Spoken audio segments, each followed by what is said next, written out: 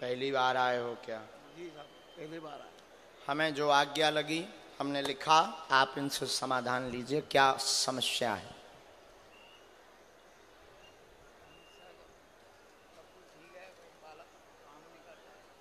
क्या नाम है उसका?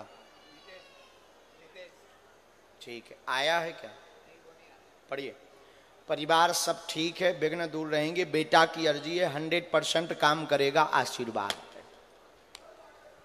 सर भगवान की। एक बार धाम इसको भेजिएगा हम उपाय करेंगे।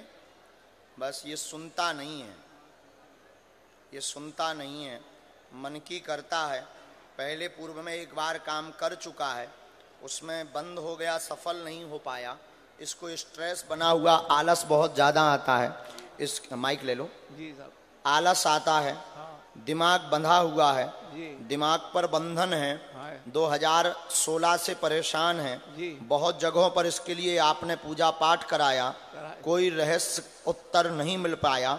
इसके ऊपर जो बंधन किया गया खाने में खीर में खिलाया गया 2016 की होली को खिलाया गया इसलिए इसको दिक्कत है। और जाओ ये आपका बालक ठीक हो जाएगा और काम करेगा।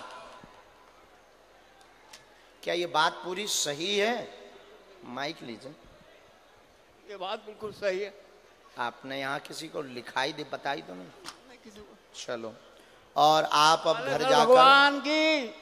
आप घर जाकर अखंड ज्योति जला देना। हम उपाय कर देंगे। बालाजी करुणा करेंगे। जाओ लाभ होगा।